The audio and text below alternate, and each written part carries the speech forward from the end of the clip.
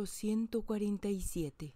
Las enseñanzas del cuervo, sabiduría para la impecabilidad.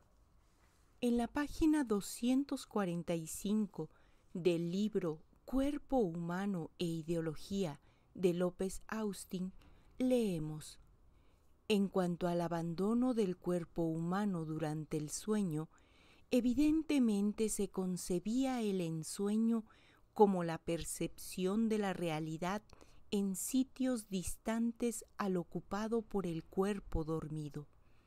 En la antigüedad, como en las comunidades indígenas actuales, se creía posible entablar conversaciones con los seres divinos durante el sueño, y las visiones oníricas eran fuentes a las que continuamente se recurría para conocer lo oculto.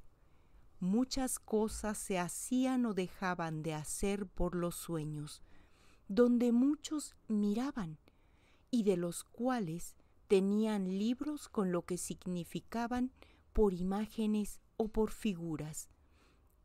Nos dice Fray Bartolomé de las Casas.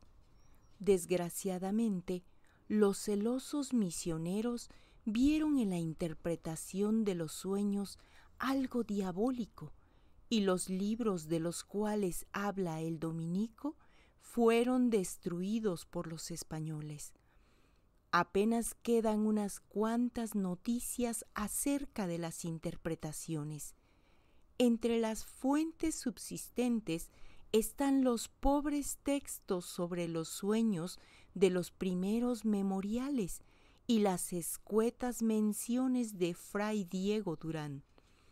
Pero al menos quedaron registradas las opiniones de los misioneros en el sentido de que la interpretación de los sueños era una práctica constante y una supuesta fuente de conocimiento de gran valor para los indígenas. Fin de la cita Cuerpo humano e ideología.